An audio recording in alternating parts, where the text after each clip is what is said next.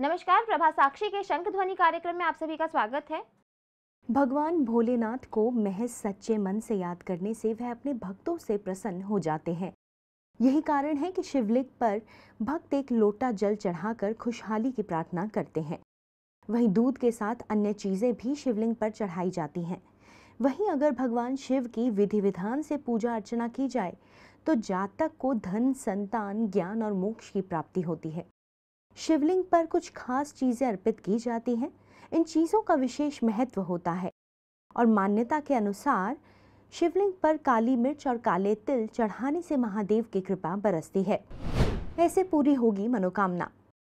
बता दें कि शिवलिंग पर काले तिल और काली मिर्च को अर्पित करना काफ़ी शुभ माना जाता है।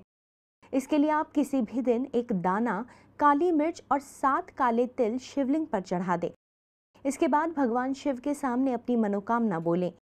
वैसे तो आप इस उपाय को कभी भी कर सकते हैं, लेकिन मासिक शिवरात्रि में उस उपाय को करना काफ़ी कारगर माना जाता है। ऐसे पाए दोष से राहत।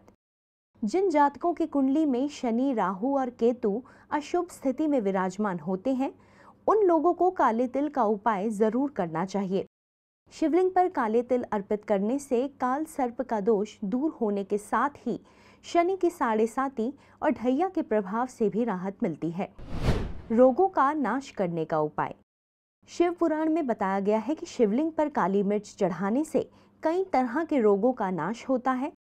इसके अलावा काली मिर्च चढ़ाने से जातक को सुख समृद्धि की प्राप्ति भी होती है।